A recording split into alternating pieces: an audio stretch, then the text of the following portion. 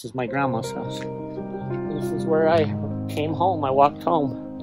Right here, this is Grandma Heiner's house, 1347 Roosevelt. This is it.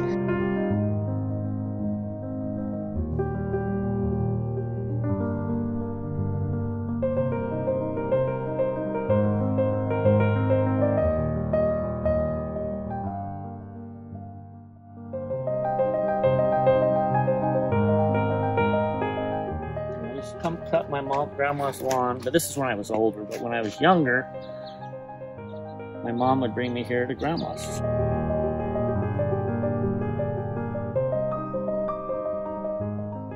Ten me and she had toys in there i'd play with. Yeah we had a toy drawer in there. Oh, a lot of fun with grandma. She'd make us sunday dinners a she was a good Best homemade bread. Homemade bread we loved. You know, she made good, but there was no real recipe. I think she made it out of potatoes, and it was homemade white bread. It was good, Grandma. And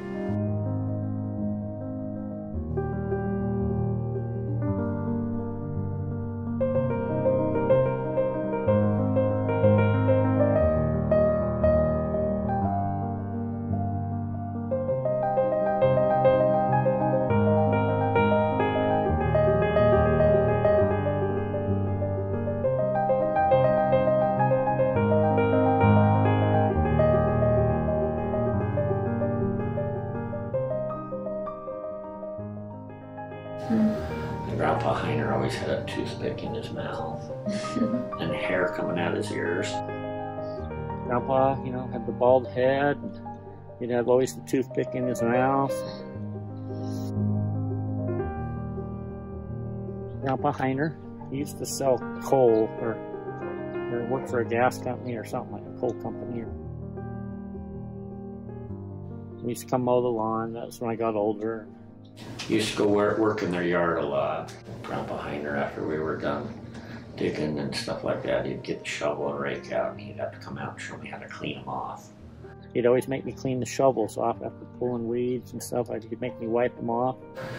We'd clean them off with a rag. I don't think we'd spray them down, but you'd get a rag out and have to get all the mud or dirt off.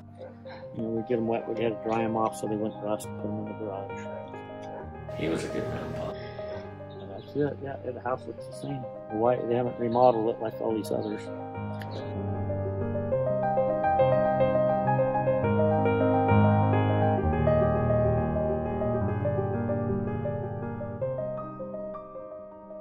Grandma Heiner's.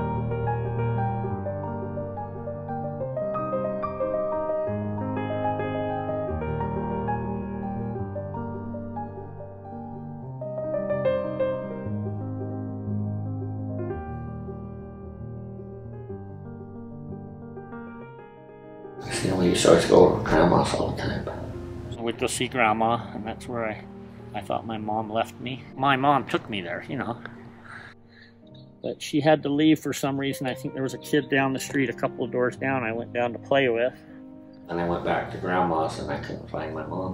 Mm-hmm.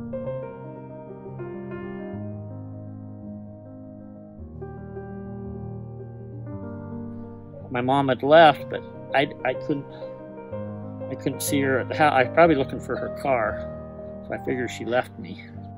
I was really upset. I think she had left me or something. I don't know. So I just took off for home. I started crying, so I just boogied on home from here. Everybody says I was in diapers still. Yeah. I wasn't in school, I guess, but I knew my way home and I made it. I came up across 21st South. It was a pretty busy street, not like now. And I came up Hannibal Street and then uh, Wilmington I go straight up there. I just remember I was really upset and bawling. Mommy left me. That's all I remember. But I remember coming up all red crying and finally saw my mom. I was upset. And I guess she panicked, wondering where I was. But I knew how to get home. 1.6 miles from grandma's house to my house.